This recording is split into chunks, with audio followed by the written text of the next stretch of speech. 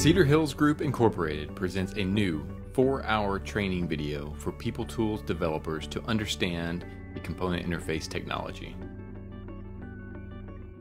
The technology has been delivered with the PeopleTools since release 8.0. Developing with CI is an area that all technical developers should have a level of mastery.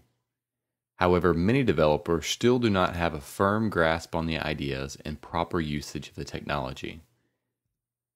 This video will solve this problem and help PeopleTools technical developers gain mastery of the component interface technology.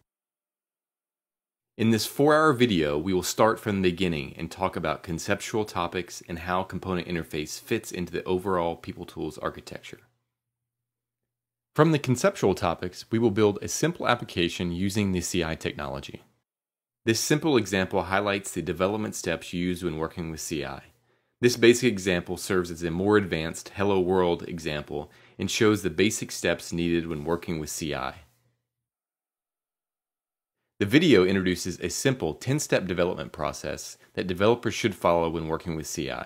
These steps ensure that a developer's time is used efficiently and that the CI technology is used properly. In this training video, we will create a real-world application from scratch that imports a flat file from a third-party system. This flat file contains people data that will be used to manipulate security in the PeopleTools database. Application Engine, PeopleCode, and Component Interface are used to create and update PeopleTools security profiles. This part of the video shows you how to use the 10-step development process with a complex component. The video covers every development step along the way from design, planning, testing, error handling, and common mistakes that developers make. In addition, we make several code revisions along the way to demonstrate optimal design patterns. At the end of this section, an entire application is completed and operational. The fifth and final section of the video will provide the viewer with tips and troubleshooting techniques. We cover common issues and mistakes to watch out for that can cause difficulties for the developer. In addition, we also discuss common steps needed to troubleshoot and resolve issues with CI. We cover component interface corruption and how to identify and resolve it. We further explain the API object type used extensively in the component interface PeopleCode. Finally, the video introduces two alternative ways to invoke a component interface, including an introduction to Excel to CI and a brief overview of invoking CI within Integration Broker.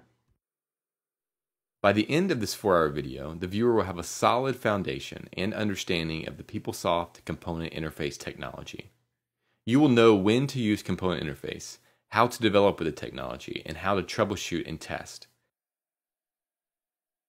A technical developer who has never used CI before will gain substantial knowledge from this video and feel confident working with the technology. At the same time, experienced developers will more likely focus on sections 3, 4, and 5 which cover the 10 step development process, a real world implementation covered from start to finish, and troubleshooting tips. To purchase this video or get more information, please visit our website at www.cedarhillsgroup.com.